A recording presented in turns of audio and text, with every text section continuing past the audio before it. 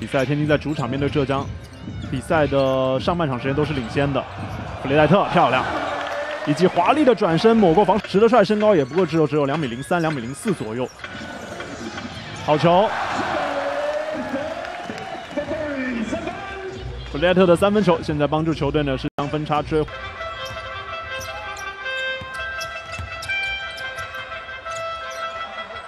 好球，更多喘息的一些机会。传球出现失误了，西蒙大神转身，哎呦，真的是灵动飘逸啊！弗雷戴特已经，上海队再推出转换进攻，速度很快，罗旭东。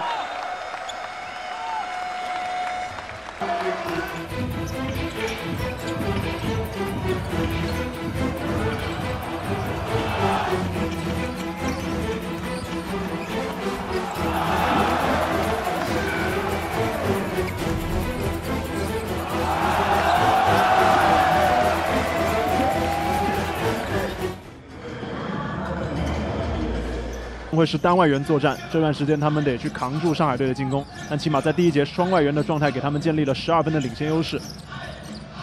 篮下张兆旭，好球，弗雷戴特这一球传的非常的激烈，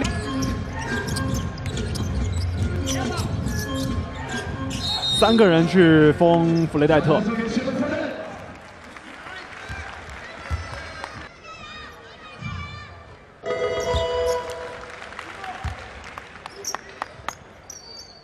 之前弗雷戴特拿到了非常好的一个表现之后呢，连科比布莱恩特都对弗雷戴特是赞赏有加。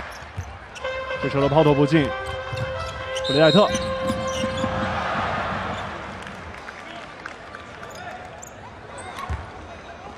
能让石德帅打这么长的时间。石德帅下场休息。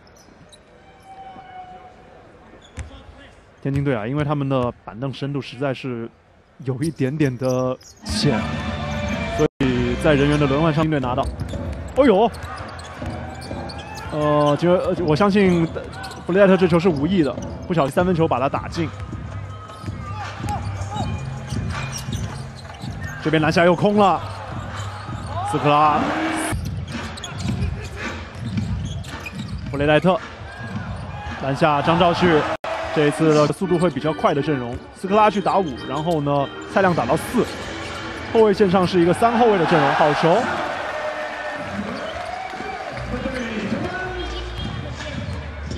是跌到了百分之二十五点九。哦，这球，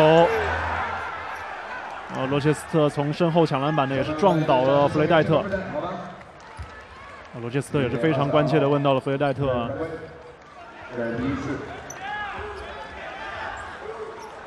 应该没有什么太大的问题。啊，这也属于一次防守犯。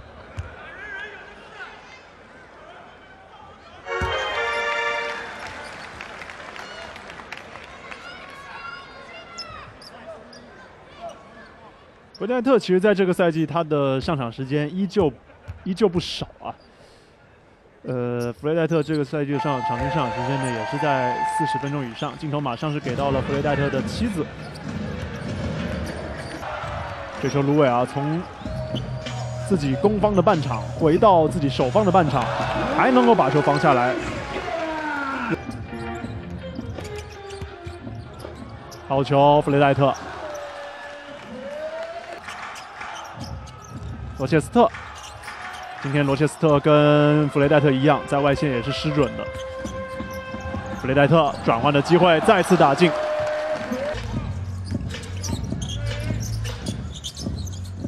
这段时间呢，更多把球都交给斯科拉去处理，让斯科拉成为比赛的过渡的中间点，马上就起到作用，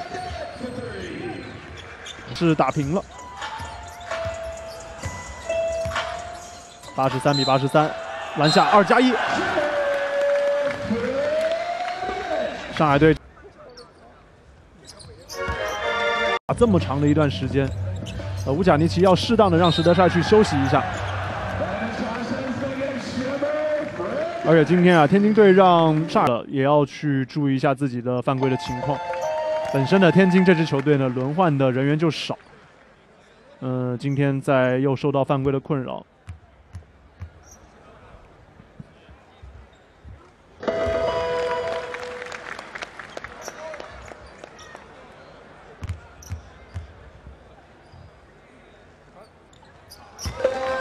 这种手拿把攥的机会，反而罗切斯特是没有能够投进。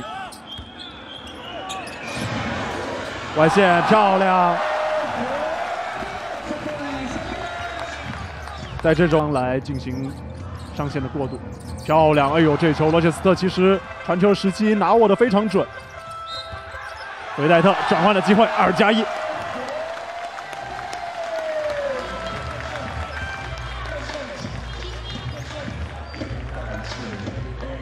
上海队继续依靠弗雷戴特，因为弗雷戴特刚才其实下去休息了一段时间，让斯科拉顶了一段。如果刚才没听过的、没听错的话，应该是有第五有球员第五次的个人犯规了。三十五，一百零七比一百零五，弗雷戴特继续突进来。呃，毕竟是弗雷戴特。还是很难去。左边坐的这位就是天津队的老将徐磊，让罗旭东去防，防守位置一直站得很紧，没有能够形成机会。罗切斯特直接干拔了三分，哇！看上海的主场的观众们也是倒吸一口凉气啊，一声惊呼。罗切斯特这场比赛的第四记的三分球。弗雷莱特同样也是用一次上篮做出了回敬。罗切斯特持球，我们看罗旭东防的真棒啊！后仰的出手，这球太难了。呃，不可能要求罗切斯特每一球都进得如此的神奇。啊，我想说罗旭东刚才那一次的防守做的真的是不错。要防弗雷戴特三分啊！弗雷戴特。连续的体前面向后仰的出手，弗雷戴特，关键时刻还得看寂寞大神。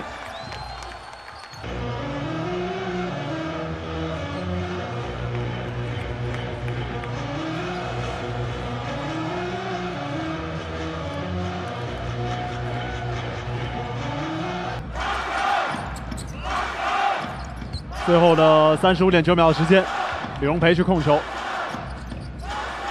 底线的掩护，连续绕掩护，想让刘帅来接球。李荣培持球，这球被盖掉了，得赶紧犯规了。季末今天已经拿到了四十二分，第一罚稳稳罚进。